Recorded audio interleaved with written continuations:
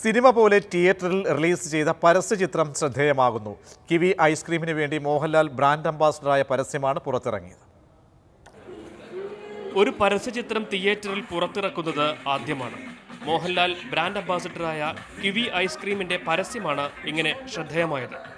ഗുണമേന്മ കിവി ഐസ്ക്രീമിന്റെ ഉത്തരവാദിത്വമാണെന്ന് മാനേജിംഗ് ഡയറക്ടർ സമീം അൻസാരിയും ഡയറക്ടർ ഹസ്കർ അലിയും പറഞ്ഞു.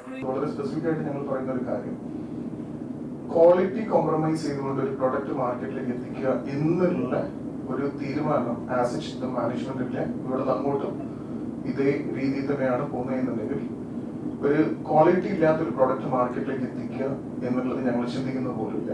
ആസ്ട്രോയിഡ് മീഡിയ പ്രൊഡക്ഷൻസ് ആണ് പരസ്യചിത്രം ഒരുക്കിയത്.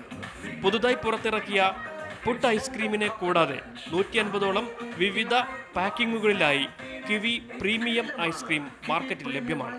മാതൃഭൂമി ന്യൂസ് കോഴിക്കോട്.